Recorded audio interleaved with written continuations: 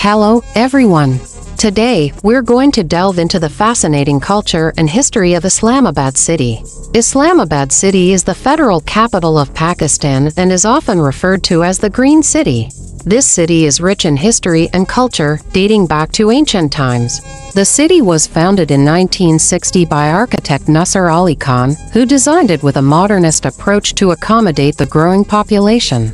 Islamabad is home to a diverse population, with people from various ethnic and religious backgrounds coexisting harmoniously.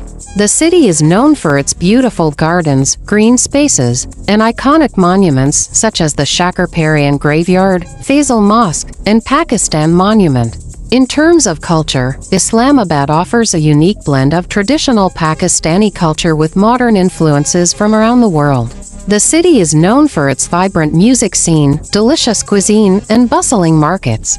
It's also a hub for art, literature, and education with several universities and museums spread across the city. So there you have it. A brief insight into the fascinating culture and history of Islamabad City. I hope this has been enlightening for you all.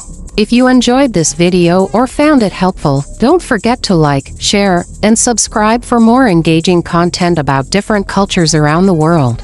Until next time. Welcome to Islamabad's Saghar official channel. History, information, current affairs, poetry, and much more.